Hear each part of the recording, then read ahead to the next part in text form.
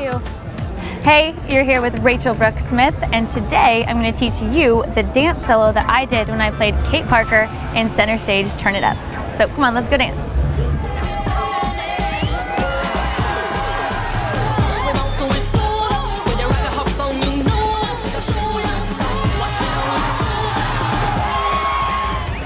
Okay, so I'm gonna teach you the dance, but I'm gonna teach it pretty fast because that's what fast forward and rewind is all about. Oh, and if you haven't noticed, I'm actually wearing the same exact outfit that I wore in the movie, just for fun. Here we go.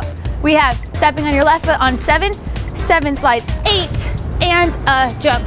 One, two, push three, and four, push five, step six, hit seven, and eight, step one, pull two, three, four, and a five, push six, seven, eight, and one, and two, step three, hold, four, and five, six, seven, eight, one.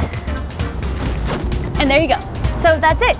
And just so you guys know, this is not my choreography, it's actually AJ Jones, who is one of the amazing choreographers I got to work with when I did the film.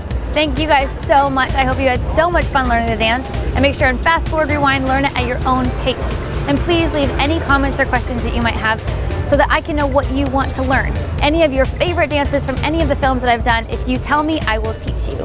And go to unbreakabledreams.com. You can now get Unbreakable Dreams bracelets like so. Check that out. Thanks again so much, guys, and stay tuned for the next episode. I can't wait to hear what you want me to teach you.